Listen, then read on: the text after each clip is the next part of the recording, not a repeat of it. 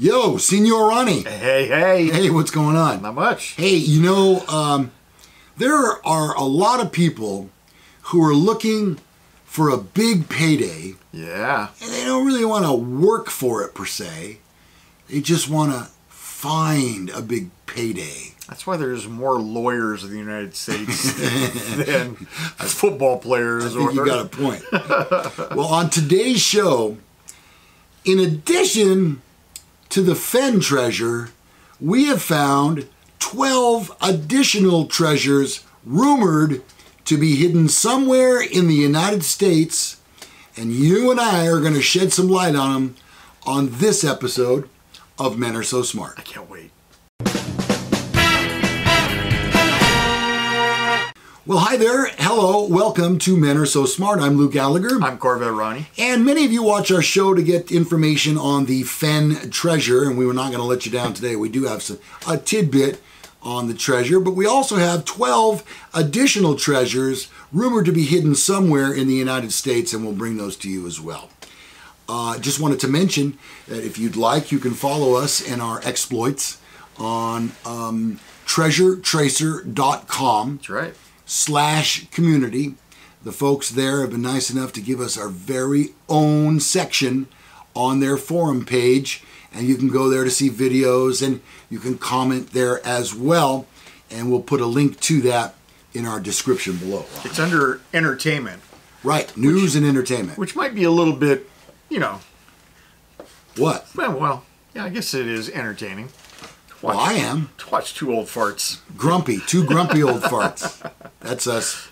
All right, about a decade a decade ago, 85-year-old Forrest Fenn allegedly that's how they use the word in this particular story. Allegedly hid what experts estimate a to be a 5 million dollar gold jewelry and artifact treasure in a small bronze chest somewhere between four states in the Rocky Mountains.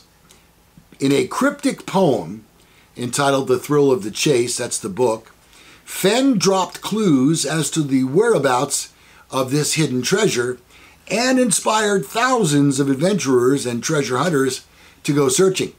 Sadly, some have even died trying. So far, the treasure has not yet been located and even inspired a great April Fool's joke this year, Ronnie. You I remember that. Uh, I kind of fell for it. Yeah. Well, you weren't the only one. I'm glad. Yeah. Uh, I got that and I thought, oh my gosh, Ronnie and I have got to get together and do this story immediately. Yeah. I even, honestly, I even thought about asking to leave work early to come over here and shoot an episode. Yeah. All for naught.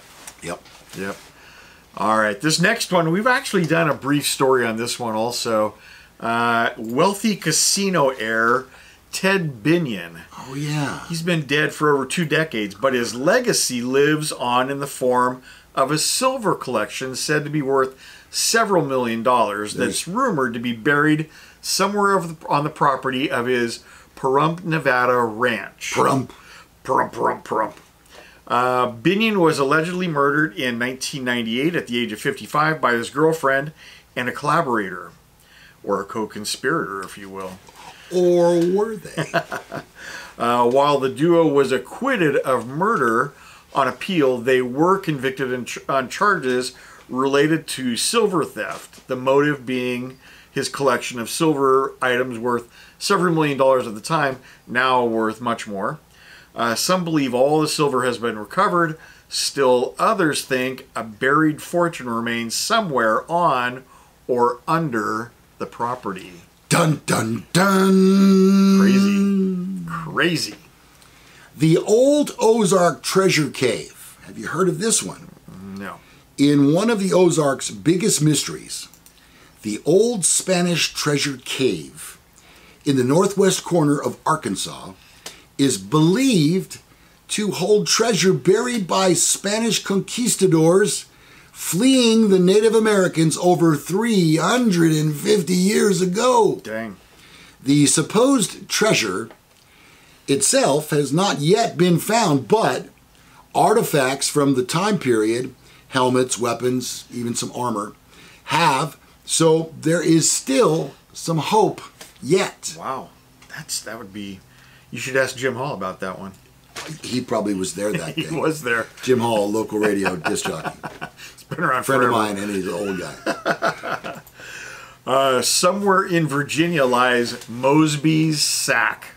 I bet Mosby's not very happy about He that. probably uh, probably cried a little bit when What's he, he lost doing without his his sack. Yeah, I hate it when my when my wife keeps my sack. yeah, Uh, in 1863, Confederate Ranger John Singleton Mosby and his band of guerrilla raiders, Wow. I got their last album. It was great, Ronnie. the guerrilla raiders, It was really good. Yeah. uh, they were able to sneak 10 miles into Union territory and capture more than 40 Union troops at the Fairfax, Virginia courthouse, all without firing a single shot. I like to see that done again. Uh, Mosby reportedly left with a burlap sack stuffed with what was then valued of about $300,000 worth in gold. In 1863, it was worth that much money. $350,000. Holy cow! Imagine how much that's worth now. Probably at least 400000 At least worth 410, Maybe. maybe. Uh, it was gold, silver, jewelry, candlesticks, and other fairly heirlooms, all of them taken from the homes of local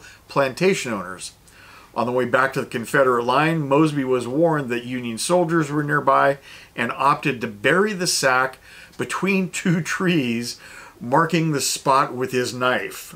Oh, that's that's pretty permanent. Seems Yeah, like X marks the spot. yeah. Later, he sent seven of his men back to the, retrieve it, but they were captured and executed. Or were they? Yeah, there you go. Maybe. Uh, as far as we know, Mosby never went back, so the loot could still be out there. I love when people call treasure loot. Yeah. Let's start doing that more. Loot. The loot.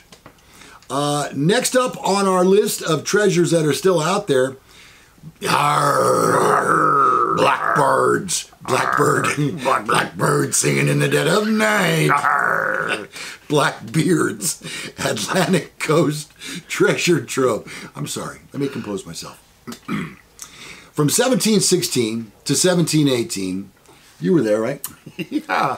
Uh, the pirate Blackbeard steered his ship around the West Indies and Atlantic coast of North America, attacking ships laden with gold, silver, and other treasures from Mexico and South America on their way back to Spain. Arr, me mateys. Why didn't he just hack into their PayPal account? I, that would have been a lot easier. But I think it was because he just had that hook. And he probably couldn't type. Could just type. Blackbeard is said to have boasted about his buried treasure, but never trusted anyone enough to divulge the secret location. Good thinking. He was finally defeated and executed, uh oh, in 1718. Treasure hunters have been searching for it ever since, seeking clues everywhere from Virginia's Chesapeake Bay to the Caribbean and the Cayman Islands. You know what kind of socks Blackbeard wore? I don't think so, Ronnie. What kind? Argyle. Hey, you know what a pirate's favorite welding gas is? no. Argon. Uh, this next one is the East Idaho stagecoach robbery. Oh, I love these kind of things. Yep. Reminds me of um, what was that movie with Robert Redford and Paul? Butch Cassidy. Butch Cassidy. Yeah. All right, tell me more. Tell me more. Somewhere in East Idaho is a bloody treasure worth millions of dollars Sounds messy. in gold. Oh, At least that's the legend. Uh, this is from the East Idaho News. The Overland stage line in 1865, carrying gold in its cargo, was held up by the Pickett Corral Gang. Uh, pretty prolific. Joe Walsh was in that band. That was the James Gang. Oh, sorry. Yeah, yeah. The James I'm Gang. sorry. I don't know Very closely related to the Pickett Corral Gang. Uh, they were a prolific stagecoach robbery syndicate from back in the days. Now, if the robbery took place, and it's not a foregone conclusion that it did, the gang probably hid it in Portneuf Canyon. Um, but you know, what you know, just like guys that drive armored trucks now, every once in a while, one of them goes rogue Snaps. and sets up a fake robbery. Because they're smarter than the other thousand people who failed at it. right, yeah. So, you know, it's possible this could be the same thing. Hawaii's Palemano Point. Palemano Point, an exposed reef off Hawaii's Big Island, may contain over $5 million in buried pirate treasure in the form of silver and gold said to have belonged to Captain Thomas Cavendish, an English privateer who lived in the 16th century. That's according to Hawaii's Unsolved Mysteries. Modern day explorers have tried and failed to locate the treasure and the ship itself, but who knows what tomorrow may bring. And as if you need uh, any other reason to go to Hawaii, I don't. King Kamehameha's burial chamber is in Hawaii. Uh, he died, the King Kamehameha died in 1819 and was supposedly buried with millions of dollars worth of gold and jewels. But Kamehameha's burial chamber, burial, burial chamber has never been located, at least not yet. Some believe it's on the Napali coast. I- you know what, that's- Hawaii. Yeah, uh, I spent some time in Kauai, and uh, I think I know where that is. It's like on the northeast side of the island, and um, it is it is still the talk of tourists and tourist huts, if you will, uh, still there in Hawaii. Oregon Spanish shipwreck, and yet another tale of lost Spanish loot when a Spanish ship sunk off the Oregon coast in 1705. It supposedly left behind gold and other treasures. The mere fact that it might exist is enough to drive real estate in the area. If you thought you could buy a second home on the coast, but knew it would stretch your budget, the tipping point might just be oh my God, there's 500 pounds of gold somewhere up there. hmm, good reason to move. Yeah. Uh, now this one is well, this is recent, not not super recent, but kind of recent history, and it's my favorite. I love Wild West stories. Me too. Uh, Oklahoma's secret space for Jesse James loot. Loot. This loot. There's that word again. Somewhere in Oklahoma, and most likely in the vicinity of Robbers Cave in the Wichita Mountains, Apropos. there is said to be over $1 million worth of hidden treasure left behind by Je- Jesse James and his band of outlaws back in the 19th century. There are literally hundreds of tales, all ending essentially the same. He left the treasure behind in the Wichitas, and it's never been seen again. Hmm. Wow. I wonder if real life treasure hunters like Jack Yeah. are are sorry Are? are ever out there looking for that. I just wonder because because it's there. it, just makes it seem like man there's development and everything else it had to have been stumbled across You would think so by now, right? yeah Dutch Dutch Schultz's treasure. One of the most perplexing hidden treasure mysteries is that of gangster Dutch Schultz, who may or may not have hidden a $7 million fortune somewhere in the Catskill Mountains of New York. As Schultz lay dying, shot by a rival gangster, i hate it when that happens yeah, it's messy. He muttered something about hidden treasure, but no one has ever found it, as far as we know. That could change next month when the Travel Channel show Code of the Wild.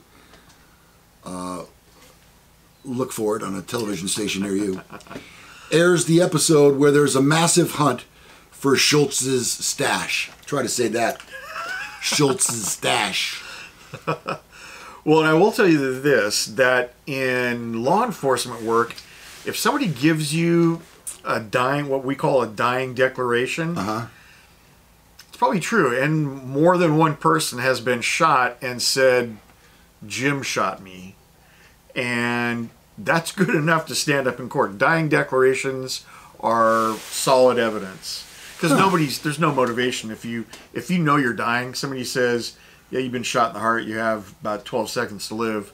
Uh, no one's gonna typically no one. I maybe this guy is a notorious liar, but uh, they give you a dying declaration. It's good as gold. Huh, didn't know that. Yep. Uh, next one. Again with the pirates. Lost pirate treasure of uh, Sport, Maine.